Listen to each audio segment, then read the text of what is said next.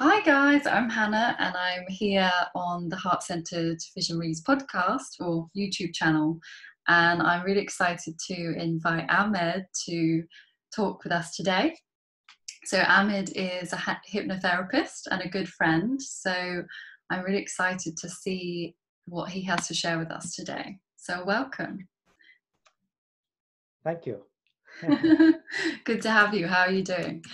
Thank you very much for uh, for inviting me. Um, doing great. A very sunny day somehow. It started. Uh, the, the weather didn't start this good in in Paddington, and now it's it's sunnier. So um, yeah, very good. You know, we're uh, interesting times and uh, going through challenges and and opportunities and exploration at the time. So mm-hmm. yeah, and you're and you're back in you're back in London. So Ahmed's been back to France, haven't you, for a while? And now you're back in the UK. Yes. So my family, uh, part of my family is based in France, and um, with my wife and my daughter, we uh, we spent part of the lockdown um, in in the south of France, which is not a bad thing per se. So no. we had good weather, we had nice food, nice wine. Um, it was still strange because we were not home and um, you know um, it was different situation but cannot complain too much. Went to the mm-hmm. beach had a swimming pool. It was pretty good. Right. So how was this i know we were talking earlier uh, catching up but how was the the dreaded c word covid how has that affected you um, and your business? Because obviously yeah. you know as i know you were doing hypnotherapy in person in london and now yeah. you saying about transitioning online. So tell me more about what your how it's affected your work and what you're how you're adapting to that right now um, yeah it's affected my work in a major way because i suddenly i could not see people physically anymore and i was very hesitant in the beginning with the whole idea of uh, doing sessions over zoom um, simply because like hypnotherapy is is a like it's a relationship um, therapy. So mm. I'm, I'm used to having people in front of me. Um, I'm, I'm in hypnotherapy. I need to calibrate to the person's state um, very, very closely and very physically. I need to I need to reconnect with their breathing, with their facial expressions, with the change in colors in the blood flow, the energy levels. All these small um, indications are important indicate are important is important information for the therapist because these are the things that tell me that the session is going great, that the person is reacting in a certain way or in a different way. Mm. And also, as a hypnotherapist, um, we use what is happening to our advantage. So we use what we notice in the person, uh, we use the changes that we notice in a person's state to really go with them in that resourceful, hypnotic um, state where they can feel uh, totally connected inside and and have their own experience now, suddenly over Skype, especially with people that I don't know, that I haven't had interactions mm. uh, with before, it's slightly more challenging because you have to establish rapport with the person, you have to get to know the person, and you have to get them to feel comfortable with you, to open up, obviously. So I was hesitant in the beginning to do that. Then I started doing it, and actually, it, it, it it's not the same than being in, in person. I still prefer being physically present with someone. Um, but I've done yeah I've done sessions online and it's been um, it's been good. Clients have been happy with it. Um, you get the occasional you get the occasional online um, like alea, which is sometimes the the connection drops, sometimes the screen goes, sometimes the person is is in hypnosis and their screensaver turns on, so I cannot see oh, them. Gosh, that happened, that happened once. So yeah, it's not ideal, is it? Um, it's not ideal, but again, it's something that we that we have to work with. Um, it's it's better than not doing anything. So yeah, um, yeah. So that's been one challenge. But again, with every challenge, there is an opportunity, and so the opportunity that that is present right now, and the opportunity that I'm exploring is also to, as you know me, I I like recording things. I like um, putting stuff out there, whether it's um, podcasts or or or uh, programs. Like I have this quit smoking program that I that I'm that I'm still working on on kind of mass marketing, but it's ready, it's been recorded. And so I was thinking I naturally enjoy this. I naturally enjoy recording and, and putting content out there and mm-hmm. also putting together content. Um, so I was I was thinking I, I might use as well this opportunity to start producing more content or to start preparing for more online uh, content, which I think many people are facing. This podcast yeah. is a is a proof of it. So yeah, that's well very. That. yeah, exactly. So um, just to I want to kind of d- dive into hypnotherapy for people that yes. people that don't quite understand what it is because I've experienced some very powerful sessions with you. So also um, it's so incredible how it just taps you into that resourceful state, as you said. Yes. And I think the work I did with you is it just changes your mindset. You know that that reprogramming the subconscious mind through hypnotherapy is very powerful and very um, just like grounding. I felt a, a, big change and more connection with my body. So I'd love to know. Can you tell us more about uh, hypnotherapy and how it can help people in their lives? Absolutely. Well, th- thank you to start with. Thank you very much for, for your kind comments. Um, hypnotherapy is a broad word. Uh, the word hypnosis doesn't actually have a uh, technical, scientific, agreed upon definition. Um, that, but the what is agreed upon is that the hypnotic state, the trance state, is a state that's actually naturally occurring in the human being. So the very simple example of that is sometimes people are driving and as they are driving they're looking at the road and all they know is that they they drift somewhere and then they they kind of wake up half an hour later and they find that ha- they have arrived to their destination mm. um, some people experience these states when reading books i do experience that type of flow state when reading books um, the meditation state is also not far from the trance uh, hypnotic state so that's the state that we go in. It's a state of connection. Um, it's, it's obviously a state we generally do hypnotherapy with eyes closed because it allows the person to focus fully on their internal experience and to represent experiences inside. So it's like having, you know, as human beings, we have like our own theater inside with our internal voice, mm. with our visual representations, with our kinesthetic feelings that, that occur. And the hypnotic state is very useful to, as you said, rewire emotional experiences, for example, because once you go in that hypnotic state and you go deep enough into it, um, the experience is very comfortable. And obviously, the presence of a therapist can help the person to go revisit certain difficult um, situations in a different way, experience them totally in a different way, mm-hmm. or to project them, themselves in a future where they are successful, where they are doing the things they, they want to do, where they connect with their bodies, with you know all kinds of things really. It can be used it's a creative state so it can be used in any shape or form.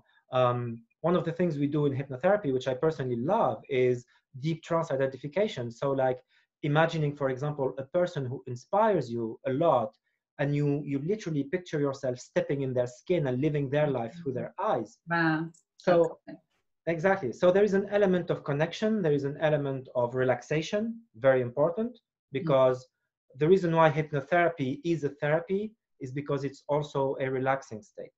Mm. So it's very useful with things like uh, like anxiety, addictions.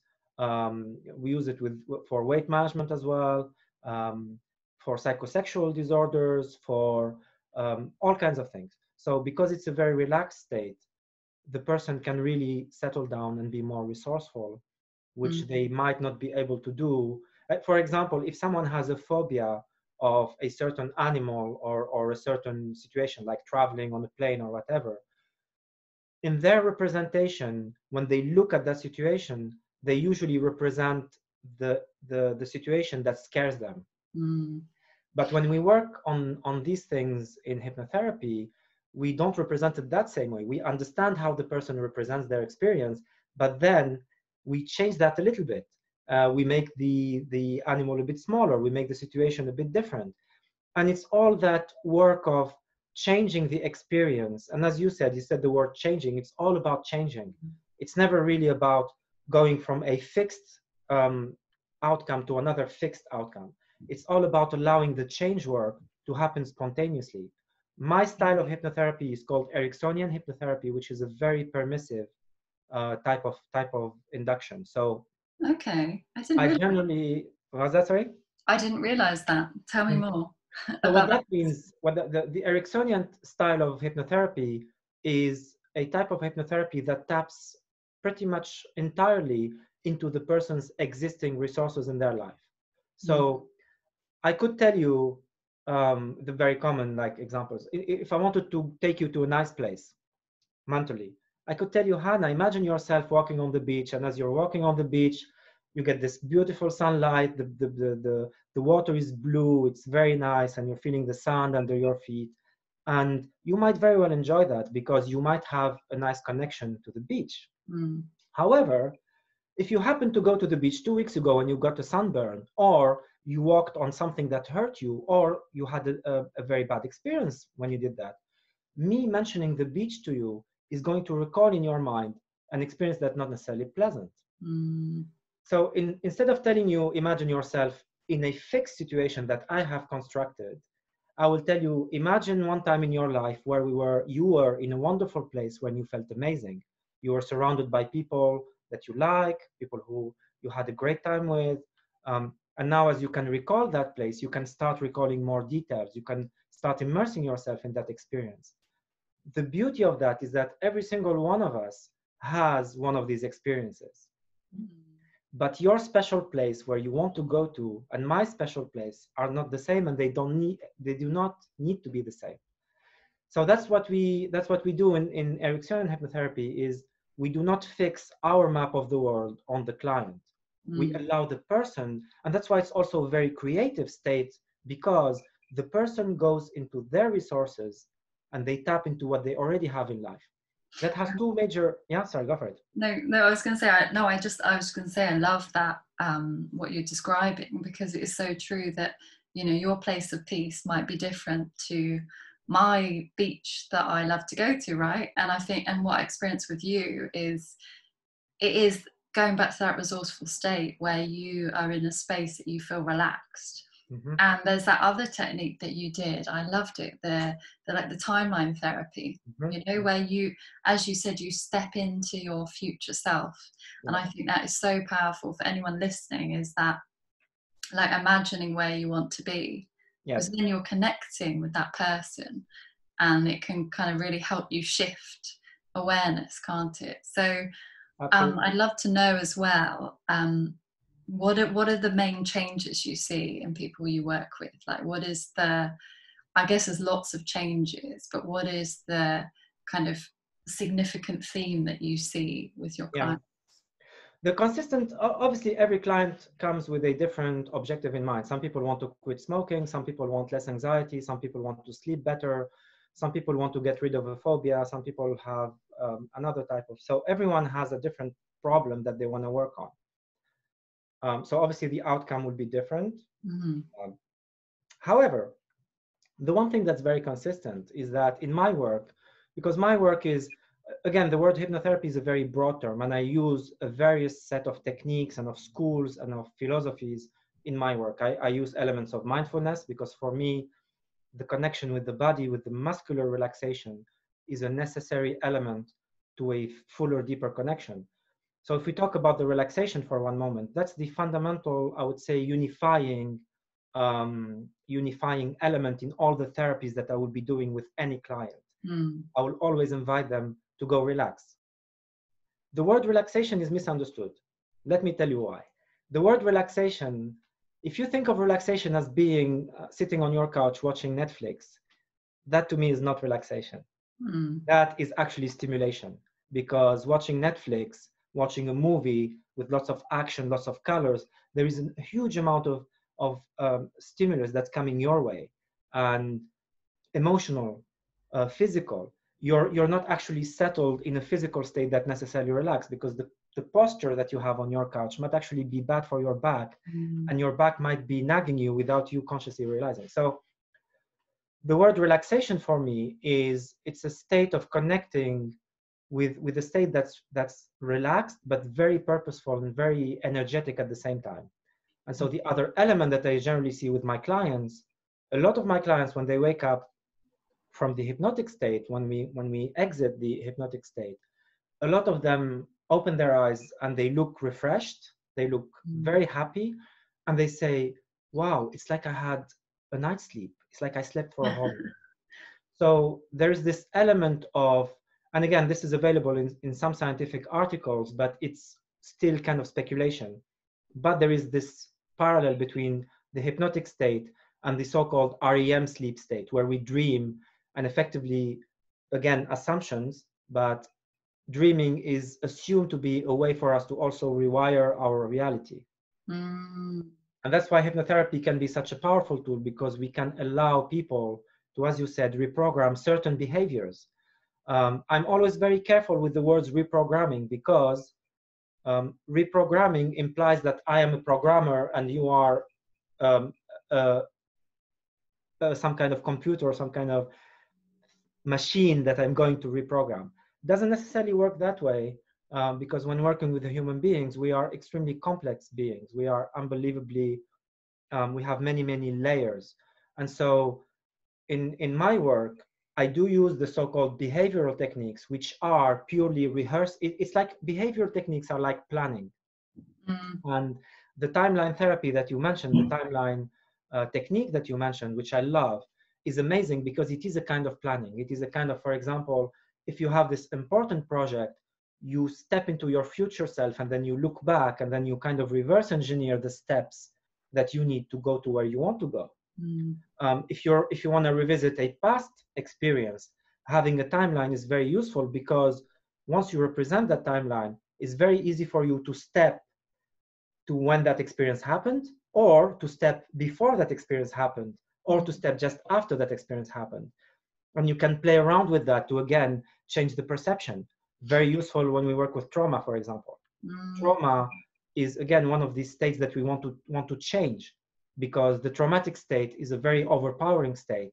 And so you don't want to necessarily take someone who has trauma to their trauma. Mm. You want to take them to a place where it's kind of close enough, but they're still in full, in, they're still in possession of their abilities, of their creative powers. Mm. Um, the other thing I would say, which to me is very important, and I've, you know, this is available on my website. I've, I have a blog series on this subject, which is the the interconnection between between the how how do the the, the two kind of fundamental parts of our autonomic nervous system and our resourcefulness. So the reason why I say relaxation is misunderstood is because um, relaxation, when we go into this connection with the body, when we settle down, the breathing settles down.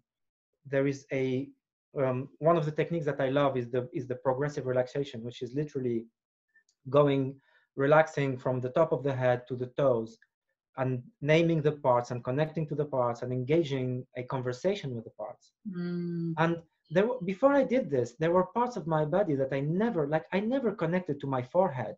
I never thought, let me close my eyes and imagine that my forehead is relaxing and that the you know that the that the skin is kind of stretching that the muscles are releasing tension it's not something that we do regularly no. but when we do it there is this because attention bring takes the energy so when you're focusing on your forehead even mentally your brain is directing more blood to that to that area of the body and so mm-hmm. by scanning you're kind of saying hello to parts of the body that are sometimes disconnected very very useful in chronic pain for example lower back pain people who have lower back pain, they tend to be, they tend to not just suffer from the pain, but they tend to also panic about it. And they mm. tend to want to shut off that part of their body. They don't want to talk to it. They don't want to, they want to, you know, because it's painful or the neck or the shoulders. And, you know, people will literally tell you, I wish, I wish that went away. Like, I wish the pain just went away. And somehow they're telling you, I wish that part went away because it's, it's painful. It hurts me. Mm, it's so it's so that's so powerful what you're saying about because I think so often in life we're not taught how to connect with our body and yeah. what you describe and what I experienced is like you're opening up your like body intelligence for it to tell you what to do instead of being in the head which we are so often in life so exactly. what what it helped me do is kind of just connect like you say with those parts of your body that you know I've had stomach pains a lot of my life you know about and it helped me connect with that part of my body and actually oh yeah i do feel more connected and breathe into that part so i think for anyone well for everyone mm-hmm. hypnotherapy is an amazing tool and the relaxation that comes with it is so beneficial so um, I'd, I'd love to know as well like you've shared a lot about your work um, what what led you to hypnotherapy? Because i know when we met was about three gosh was it three or four years ago i think now yeah. uh, at a networking event uh, group in london. And i remember you just being so like passionate and fired up about like health and well-being and everything. And it was just great the chats we had. And and then you was you went to study hypnotherapy. So if you i'd love to, for you to tell us how you what led you to hypnotherapy from your job as a stockbroker. It's very different.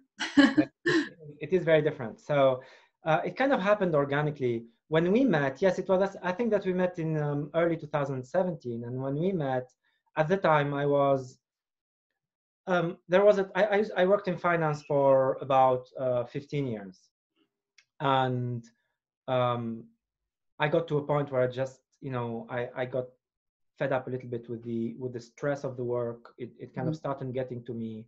Um, and you, you you might say that I was going through like a beginning of a midlife crisis where I was like, I'm, I'm I was 36 at the time, and I was saying, hmm, do I see myself doing this in 10 years? Um, and the answer kept coming back as not really. And so I thought, okay, um, two choices here.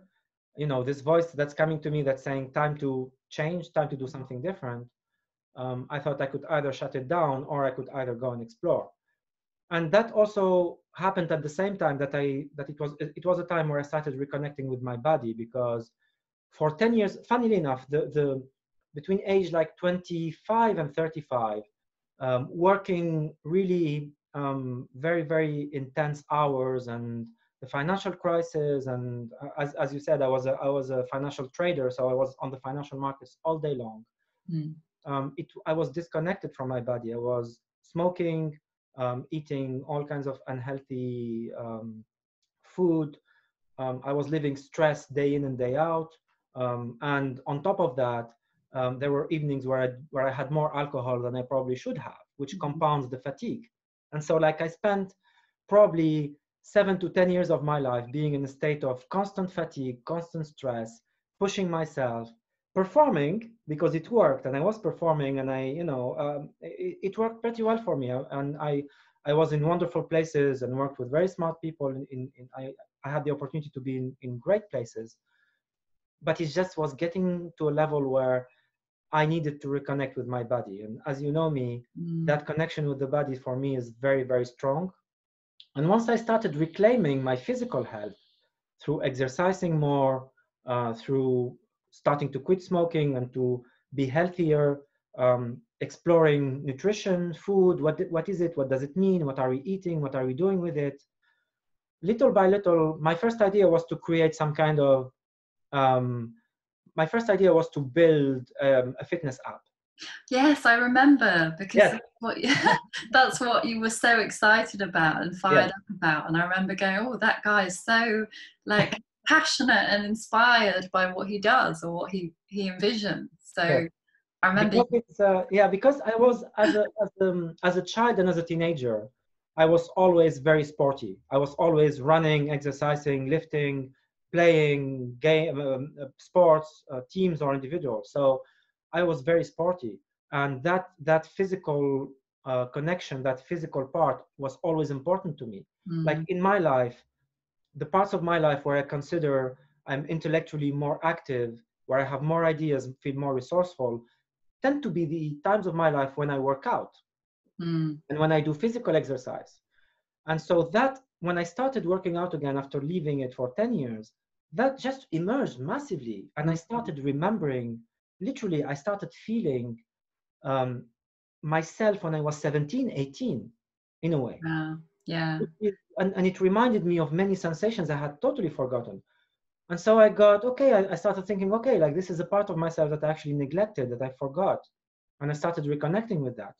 Um, and then i became passionate about it. I'm glad i didn't do that project because I think that you know me saying it's like you know this this whole entrepreneurship world is when you think you have a great idea, it probably means that there are ten people already doing it.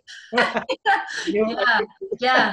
But, but, that's the thing. It all starts with something that makes you passionate. You know that because I remember going, "Oh, that guy is so passionate about this." Like it, it was inspiring you know people kind of get you passionate about something Yeah. and so okay so that's so in, it's and it's so interesting you're saying about the body connection because i think people like we say we're so in our heads that we forget and we're kind of the we're that disconnected from our body Yes. so you going on that journey seems like a, a key part of you almost Yeah. finding what you loved in some way do you, do you Um, think it was Totally. I started from the body, and then I, I always, you know, I generally had a keen interest also in psychology and the mind, in, in how the mind functions as well. What is the unconscious mind? So all of these things also were intriguing to me. Mm, And what happened is I started attending different seminars, uh, coaching, uh, NLP, um, and that's little by little how I started. It's kind of what I would say is is I, it started challenging some ideas that I had about myself, about my mind, about how my mind worked mm, um, it started it get it got me to question more it got me to read more it got me to do more research. Mm. again yeah? No go on sorry. And i want to say on that part as well because when i was younger i, I did i was reading a lot. I, I i i love reading books. And I, so that got me to reconnect with also that part that i had totally neglected for 10 years. And i was like okay here's one more thing that used to work for me really well. And i just like you know left it out of my life. So yes when you when you leave parts of your life that have been great for you in the past and you just completely leave them um you know maybe your life is not going to be as good as it was. Maybe you need to reinvite these parts at some point. And that's what happens with many people. They forget some of their resources. They totally forget about them. Um so but let's so i was going to say like i started from the body then went to the mind and, and trained in all kinds of cognitive cognitive methods. Hmm cognitive methods means methods that are based on language. You need to say this when the person says that. You need to ask this question or this is the structure of how the language and how the processing cognitive cognitive cognitive. Mm. that was never for me that was never enough. This part for me is not is not this is not the Yeah. the whole human. Because you're so passionate about the body as well that's why. And and so you i know you studied all, so many different things. Um what and and you were doing it on the side weren't you while you're working in your yeah stock trade yeah so how was that because that's such a different transition like did I were you open with the people you worked with or was it on um, I was half open with the people I worked with. Um, so what I what I told I was great. I, I was I was lucky enough to work for a company that allowed me to explore. Um, so because I, I originally went to the people I was working with and I said, I think it's just like I think that my desire to be in this profession is gone. And I was very forthcoming about it. And I said, I think it's time for me to take a break and, and do something else Mm, and they were supportive they said okay if that's what you want to do that's what you want to do and go for it um, and after that we touched base again after six months and they said hey we understand you want to do something different but we could really use your help right now. So why don't you come and and and do this project with us right? So they had a project that i could really be involved in which was very close to my old skills but that were actually involved also new skills that i learned on the go. Um, mm, it was a very very enriching time because i could see the contrast between my old life and my new life in a way. Um, it gave me a critical um, um, critical vision let's say or a critical eye on the environment that i was performing in um, it opened my horizon on many many new things. So but it was strange because i was you know parts of the year i was this financial guy traveling all over the world and seeing all kinds of people selling and presenting financial ideas and then going to my hypnotherapy training and being let's let's do hypnosis and then going to a bodywork training where you know hands on and everything. Um, yeah. all of these experiences have brought um, something to me to my life Mm, including my financial career which which brought me a lot in my life as well. And i mean mm, um, it's not you know i'm not saying that it was a bad part of my life. It's just a part of my life that i wish i wish that when i was 25 i wish that i had the knowledge that i have today that might have allowed me to navigate my financial career in a much much smarter way because and i see these young you know these young finance professionals they start in this job and they want to succeed and they want to give it their all and it's natural when we are 25 we have so much energy we, we want to push ourselves we want to go and Mm. it's great but if there is again if we disconnect from the signals that the body is sending if we disconnect from our physical well-being um, there might be a price to pay at the end Mm. which, which you know and then you go what's the point? If you're not managing I- i tell all of my friends who are traders i tell them like your most your biggest asset in your firm in your company in your job is is your system. And when i say your system i mean their body and their minds.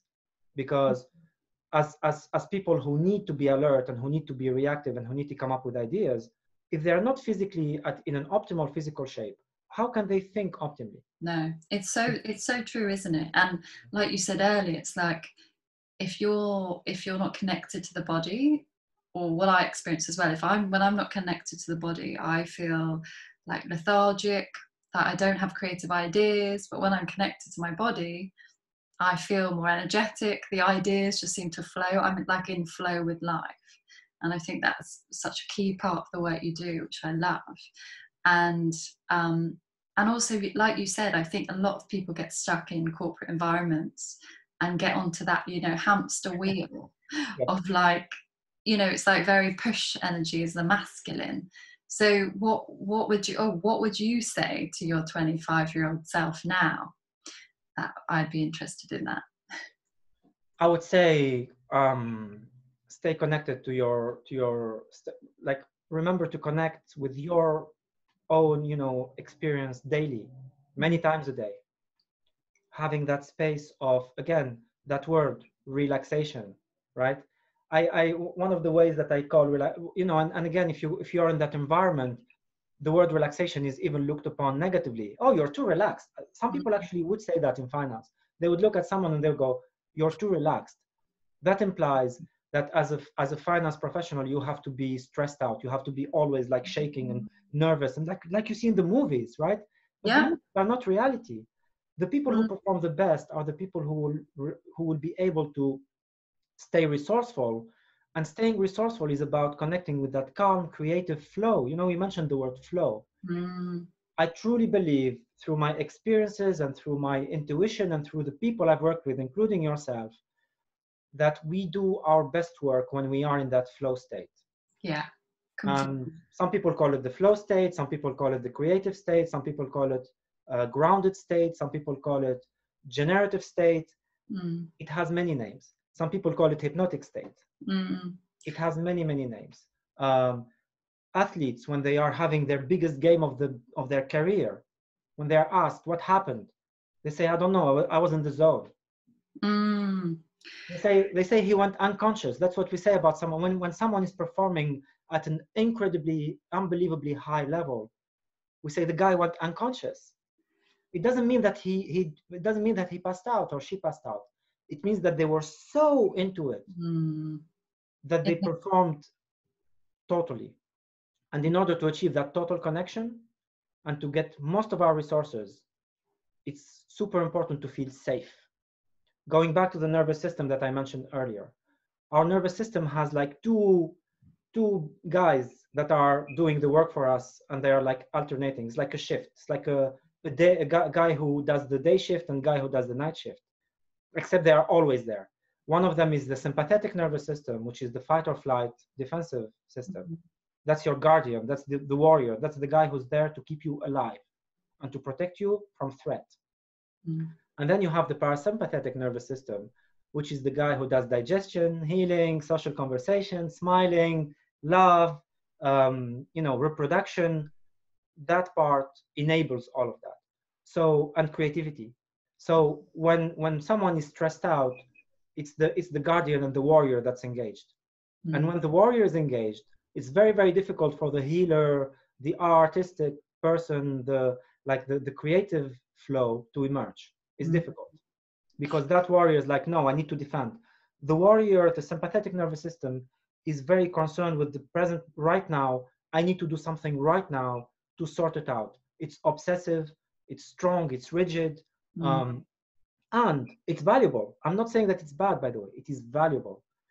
But in order to go into truly creative states, into truly uh, states that allow new possibilities, safety is the first um, feeling safe and feeling connected are fundamental for the human beings.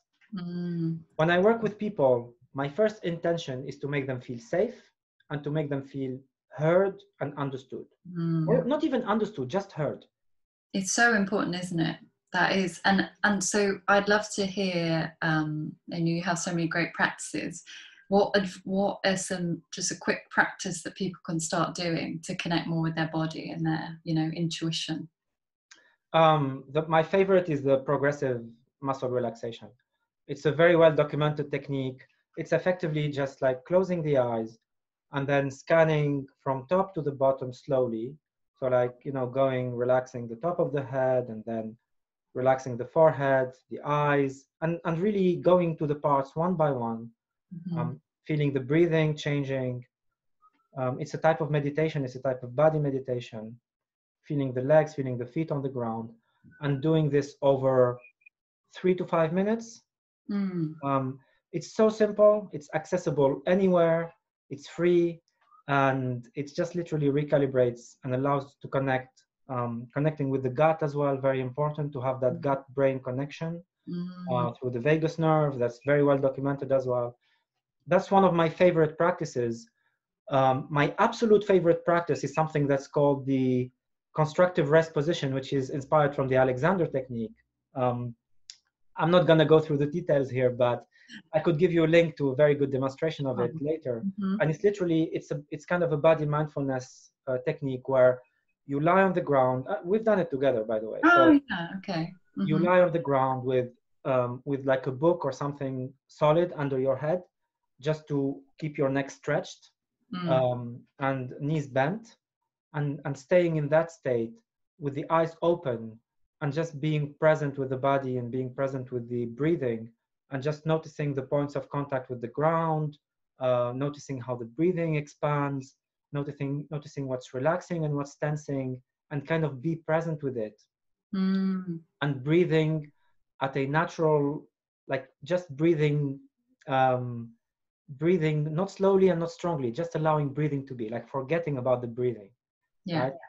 Um as as we as I, as you may know breathing is oh here, here is another thing that i always recommend people to do and that i think is invaluable and it's kind of all linked to state awareness. State awareness is about knowing am i in a resourceful state right now or am i in a fight or flight anxious uh, angry state and it might seem simple and fundamental but there is a catch. The catch is that when we are in the angry state that angry or not necessarily angry but like angry defensive threatened state there is again that warrior defense that that that comes into play. And that warrior is very certain. That warrior is very stubborn. That warrior is certain that i'm being attacked. The Mm. world is wrong. The world is attacking me. I am i am a victim um, and i close off Mm. and in those states our awareness of the state itself is pretty much non-existent Wow, that's it's just incredible that how powerful the mind is. yes Because I know as well, uh, uh, you know, whenever I'm anxious, you're, it's an automatic response. Your body will tense up.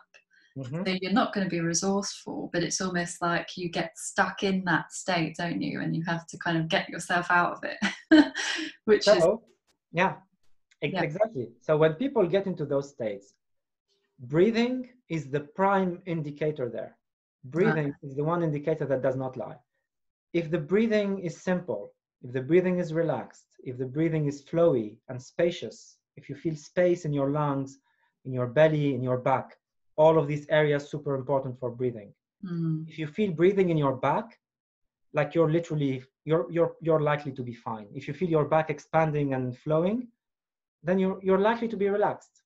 If you feel that you have your muscles in your back, shoulders, neck um, are tense, if you feel that the breathing is either restrained or too strong, if you feel the need to breathe more and faster, and that's what people do when they panic. mm, Literally, in order to create panic, you need to do this. you need to keep inhaling mm. and not exhaling. Well, maybe we'll get you on. We're looking to do some workshops, so you can do a, a breathing workshop or something. I people need Um, yeah, I mean, uh, breathing is part of breathing is, is part of the yes. I think breathing awareness is uh, is a, is a good thing to do. And again, you don't need to do it. You know, it's one of these things that you don't need to do it all day long. We we don't need to go into our creative generative practices 24 hours a day. Yeah. We need to remember to reconnect few times a day, check in with the system, reestablish that safe connection, reestablish that connection, feel the the you know uh, feel the the body, feel the breathing, be present with it. One thing I would say about this, the the other thing about the anxious state is that the anxious state is what I call contains itself. So a person who is anxious, they're going to be anxious about not being anxious. Mm. And if you think about that, that's only compounding because that's triggering the same mechanism. So that's only compounding the the the physical mechanisms for anxiety and for fight or flight. Right. And that's why it's very the first thing. That's what I tell people. The first thing to do about stress is to not stress about it. Mm, but that's easier said than done, isn't it? that's when the practice comes into play. Mm. Yeah. Okay, so so I'd also love to know as well because you're you love the your morning practices and so do I. what what is your go-to morning practice at the moment? Um, my go-to morning practice for the last five years has been a 10-minute qigong sequence. That um, qigong is a type of flowy movement with tapping on certain parts of the body that opens up the blood flow, that awakens the body. Mm that is the that is one of the first things that I do in the morning. It takes between five and ten minutes. It's very gentle. It, it includes squatting, so it really gets the, the blood flowing. It gets the body working. It helps the heart to like start waking mm-hmm. up. Um, that's my go-to that I do every day. Mm-hmm. I have other movement routines you, can tell that i'm like a bad person so, you yeah. love it I, I, remember you're always experimenting with with with your routines which yes. is great because you can be so creative can't you so many things absolutely like being creative with movement is something that i had never even considered in the past mm. and now i'm like and now sometimes i'd be in my living room and be like oh how many ways could i like how how could i walk differently today i love that it sounds it makes, things, it makes yeah. things fun, right? it's it's fun. Um, it's informative because the brain learns by difference. When we move differently, and when we do a movement that we're used to do in a certain way, but we do it, we, we and we, we don't change a lot. We change just a tiny, tiny bit. Mm. The brain will learn that there is something different, and that's how we can get, for example, to a better posture. That's how we can get to better breathing, to better um, is is by making gradual improvements. Mm. It's all about awareness. And and just I'd love to know just lastly, I know you said you're adapting, as you said, uh, and changing things. So what are you? Are there things, any projects or things you're working on at the moment? Um, yes, I'm working on two projects. So as I said, like one of my one of my dormant projects has been the quit smoking program that I developed, that I recorded, um, and it was ready kind of in February um, and then I traveled and I, I kind of put the whole thing on hold. So I'm going through the steps of I'm, I'm thinking about how am I going to put it out there. Um, mm-hmm. It's it's a work. It's it's been a wonderful work for me. Like um, it's a project that took me about eight months to complete. Mm-hmm. Um, uh, doing lots of research, obviously tapping into my training as a hypnotherapist, tapping into my training as a coach, tapping into my experience as an ex-smoker and then also going into like the the science and the research that's been done on the subject and and literally challenging my own conception of what it is to smoke or what is the addiction uh, so that's been a wonderful exploration for me um, and I think the program is good, by the way. So yeah. So how the link when you if you launch it, will you launch it again? We can like share the link. Yeah, absolutely, absolutely. Yeah. I, will, I will give you the link when it's available. I think I think I'll make it available in some shape or form in the next couple of weeks. Great. The other and project that I'm thinking about is a kind of a longer term project, talking about again the corporate place, the corporate space, because I have this corporate guy in me as well. I've I've been um, in different positions at different corporations, big corporations, mm. um, at different positions of responsibility, from the junior intern all the way to a guy who was running a team, um, and even you know, and, and involved in some significant projects. So um, I have that spectrum of corporate experience that's available to me. And I see the same stories coming to me again from the corporate world, from all types of challenges. It's the same story again. I'm too anxious, I'm too stressed out, I don't know how to communicate with my boss, my boss doesn't know how to communicate with me. I wish they did this, I wish they did that. And my hope, uh, my desire right now is to start building tools and um, I mean, my intention this year was to start doing seminars, as I said, for, mm-hmm. for the corporates. And that's kind of not possible right now.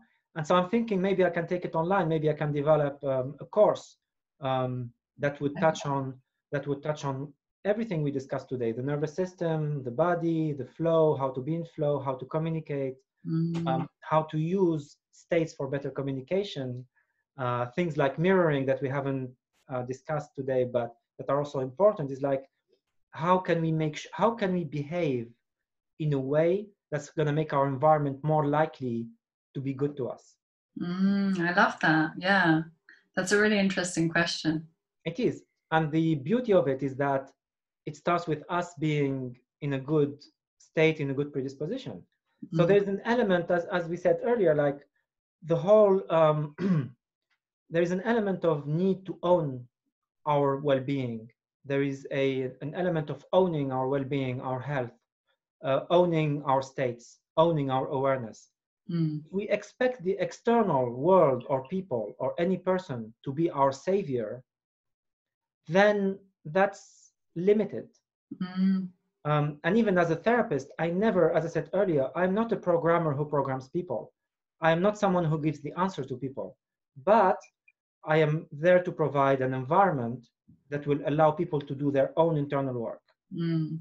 It's like you hold the space. I think with with any of the work we do, we hold the space, but people have to do that work themselves. And I think they have to be willing to go there. And you know, we're the only ones that can change our lives. So, yeah, we have to we have to put the energy and time into it. Um, exactly exactly. If you're going to do anything in life you either do it with with with your your best available energy or or or why are you even doing it? Why are you even trying if it's if it's trying implies fail? Like if you're trying it means you're going to fail. Like you it means you don't really mean it. When we like again one of the metaphors that we use in hypnotherapy that's a very very powerful one is babies. Um, babies when they grow up and when, when they start learning how to walk they go through a number of years of trial and error, of standing up and, and falling, of struggling to, to crawl on the, on the, on the ground. Um, but babies see that thing that they want to go for. They see that toy that they want to grasp, and they, they will keep trying. They will not stop. Like a baby is not going to say, I tried crawling and you know it didn't work, so I'm I'm I'm I'm not like you know one of my trainers used to say, you know, a baby who tries to stand up and, and, and count the first time will say, I'm not a walker, like I'm not supposed to walk, right? Oh no, yeah. But it's but that mindset, as you say, is so important because if you it's almost like if you have that persistence, you're going to achieve what you want. If you just go, well, it hasn't happened overnight, then I'm giving up. And I think that's what people do when they you know hit a barrier or challenge is like oh it's not meant to be. Especially in the spiritual world like i'll, I'll just give up. Yeah. But what i've learned is you have to keep going and growth can be uncomfortable but it doesn't happen overnight. So yeah constantly commit to that every day. absolutely. Um, the, the, whole intention and um, and by the way the desire to give up it it ha- it happened to me a few weeks ago. I was like, "Am I gonna do this? I don't know. Um, the world is challenging. It's fine. It's part of the game. Yeah. Not knowing what we're doing is part of the game. Um, and then it's again about in this in this situation, it's about reconnecting with what's fundamentally. Um, again, one of my my my trainers that I admire a lot. He, he calls it your life calling. What's what's what's life asking from you right now? Mm. What's your calling? And that calling is unlikely to change because of COVID or because of this or that. That calling is usually something that's deep, that's been there for, for a long time, that's been re, re- emerging at mm-hmm. various points in time. This is something that's also, I see that with a lot of my clients. Their mm-hmm. calling will be, um, it will appear very quickly. So there is this reconnection with what we want deeply, fundamentally It Mm. cannot be money. It cannot be a, a beach body. It cannot be a car or a house. Mm. These things are nice, and we we can you know it's natural to want some of these things, but they are not callings. They are not deep motivations. Um, Mm. yeah. Completely agree. Yeah. People have to follow, sounds cheesy, but it's completely follow your bliss. That's where your calling lies, as you say, I think, and connecting and listening to your intuition in that. I'm Um, not, yes, I, I'm not saying that we should all be pursuing our passion necessarily because even myself, I think I know what my passion is. At this point in my life, I kind of, I'm, I'm relatively clear on what my passion is. Um, does it mean that I need to, for my passion to be my like business? mm, It's actually not necessarily the case. Many people can have a job and then can live their passion like music. For if many people have a, a day job and then they play their music in the evening and they are perfectly satisfied mm, the Yeah. passion and the the passion and the job do not have to converge Mhm. um, and i would even say that making the passion and the job um, converge and be one is actually quite an undertaking and it's quite a challenge yeah. you Yeah. know it's a blessing when it happens if it happens um, Yeah. but you're you're you're doing it and and one and one last thing is um if people want to work with you one to one how how does that work now you're online what does that look like for people Well, um, now I'm, I'm, I'm, I'm technically, I'm preparing to be back. I, I could be back today to my physical office. So um, it's actually possible now to go back to, to the normal um, physical, physical presence. But sorry, but even if we, uh, even online, like the, the process is usually the same. The process is anyone who wants to work with me, we would have a 15 to 30 minute conversation where we would get in touch, understand what the situation at hand is, what the objectives are, um, for me to ask some questions, for them to ask some questions. And if we are comfortable, if we connect, if we feel that there is work to be done there, then we, we move it to having uh, sessions. The session plans usually are between kind of three, in hypnotherapy, usually between kind of, let's say, three and six sessions Mhm. um, to allow again for the work to sink in, to allow repetition, practice, etc. Coaching is a whole different thing because coaching is you can, you know, it can be an ongoing relationship, it can be um, over many years, it can evolve. So um, it's a totally different framework. But as far as therapy is concerned, um, depending again on the subject, on the how deep it is, you know, um, but the, the minimum I recommend now is is is two to three sessions at least to allow the work to really settle in. yeah beautiful. Well i'll put all your links in the uh, description so people can connect with you. Highly recommend ahmed. He's he's uh beautiful beautiful. Well very powerful hypnotherapist and he'll hold a safe space for you. So if you're based in london you can see him in the flesh or online. So um, thank you so much for sharing all your wisdom and um, yeah it's been great to have you and um, yeah I'm, i look forward to seeing more of what you create and we'll drop all the links so people can connect to that Yeah, thank, thank you very much. It's been a true pleasure and uh, very happy to, to reconnect with you. And uh, yeah, all the best with the project. I love Thank it. you. Thank you. And you. And for anyone watching, please like and subscribe to the channel and share it with anyone that would benefit from this. We'd be very grateful. So take care and we'll see you all again. Bye, Ahmed. Thanks so much. Thank you. Bye.